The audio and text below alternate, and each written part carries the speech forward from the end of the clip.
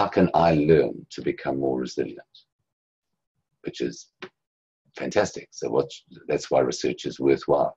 You find out what people do, and then you say, right, okay, what, what can I do to build resilience? How can I reframe something which was an overwhelming problem into a challenge? Okay, so the first thing is to recognize that stuff happens, that shit happens, that you in in life you have control over certain things and you have no control over a lot of other things. So the first is to recognize that in life something is going to happen to you which is going to be which is not going to be good and and and it's not going to be something that's going to be a, events are going to occur that aren't so good and that as that as that event occurs which is just part of life. It is just part bad stuff happens to good people and it is just part of life expected to happen at some stage. And um, recognize that when it does happen that often it's actually not personal. It is just how things are. Okay so to recognize that's the first thing. The second is then to, uh, in this situation, recognize what you have control over and what you don't have control over. And what you have control over is your reaction to whatever the situation is. That you have control over. As we looked at all the things that people who are resilient do under those circumstances, this is what you have control over. And interestingly, it's a bit like if you look at chronic pain, you don't have control over, to, to quite a large extent, what your pain system is going to, going to do next. Your pain system will present pain as it does, but you have tremendous control over and power over how you're going to react to that pain message in the same way in terms of resilience in life. You have often no control over what life throws at you, but you have a tremendous amount of control over how you're going to respond. So that's the, the first the first lesson. When that situation comes, okay, the uh, first thing is to uh, recognize the that uh, to be not alone is that to reach out when a situation, oh my God, this has happened, right? So uh, to reach out to somebody or people who can help.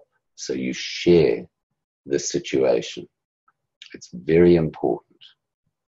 Super important. That's for your base. You're not alone.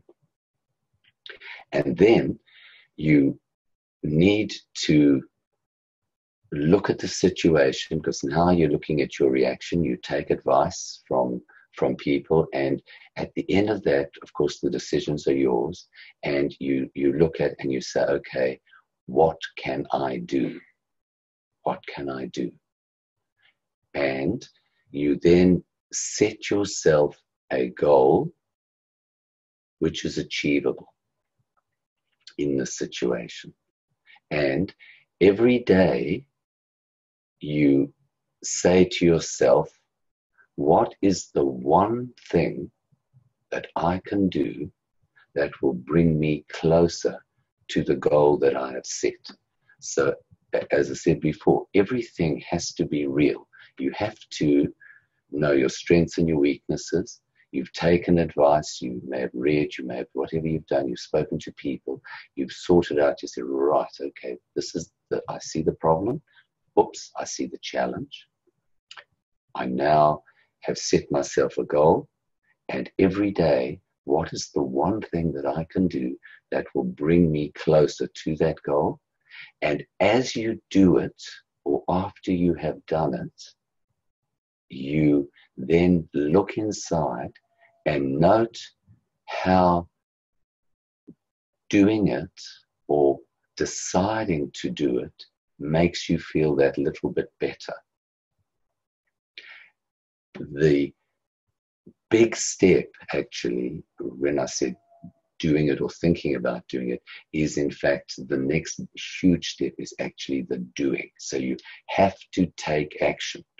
If you're that rabbit and the car's coming at you, all you have to do is take three hops to the left or the right. Uh, if, if, if, I'm in New Zealand, uh, where they drive on the left hand side, you, you have to hop to the left. And if you're in, in, in most of the rest of the world, you have to hop to the right and the car will zoom by.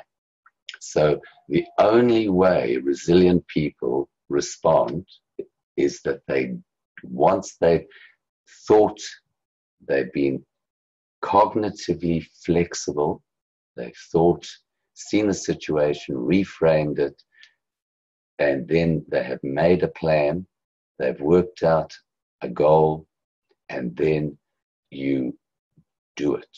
You absolutely you take action. And the next day you take action again. And the next day you take action again. So it is often that's that beautiful Japanese concept of kaizen is that little steps as you add those little steps along. So uh, it's one, you know, a journey of a thousand miles is take you, all you need is your first step, then your second step, then your third step, your fourth step. So the essence here is to know that there is never a problem for which there is no solution or there are no solutions.